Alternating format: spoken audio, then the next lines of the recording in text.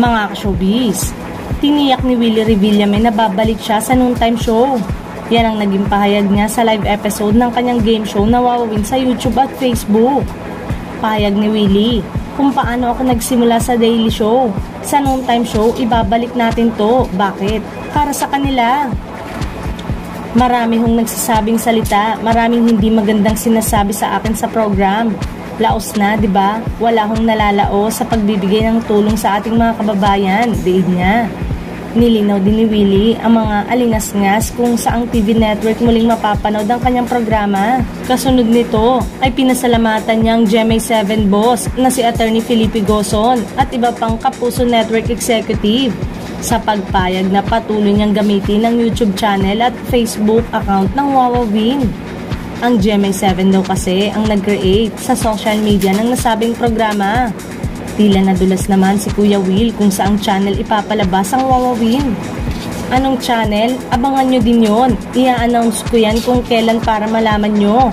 Dalawang channel sabay-sabay, bulalas ng Wawawin host.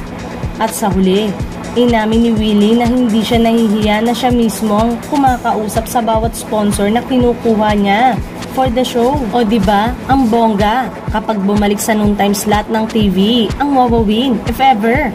Ang nasabing programa ang ikaapat na noontime show na mapapanood ng ating mga kababayan tuwing tanghali. Samantalang, sinagot naman ni Annette Gozon Valdez ang tungkol sa sinasabi na may chance si Willie na bumalik sa GMA 7. Kasi as of now, wala kaming available time slot talaga. Kasi 'di ba, dati nandun siya sa slot before 24 oras.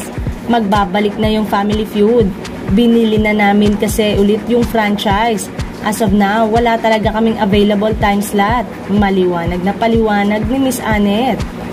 Sa kabilang banda, ngayong araw ay tuluyan ng ibinasura ng Supreme Court ang mga kasong inihain ng ABS-CBN laban sa TV host na si Willie Revillame sa nasabing desisyon ng kataas-taasang hukuman. Inilatag dito ang naging ugat ng alitan ng magkabilang kampo. September 11, 2008, pumirma si Willie ng kontrata sa ABS-CBN para maging host ng noontime show na wawawi sa loob ng tatlong taon. Isang taon at kalahati sa kontrata, nagkaroon ng lamatang relasyong Willie at ABS-CBN. Nakiusap si Willie sa management ng ABS-CBN na tanggalin ang talent nilang si Jobert Socaldito na bahagi ng The Bus at DZMM Teleradyo. Ayon kay Willie, palaging pinupunan ni Jobert ang Wawawi.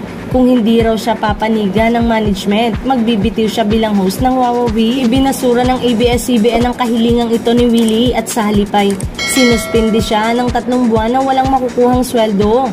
Sa makatuwid, at tuluyan ng ban si Willie Revillame sa Kapamilya Network.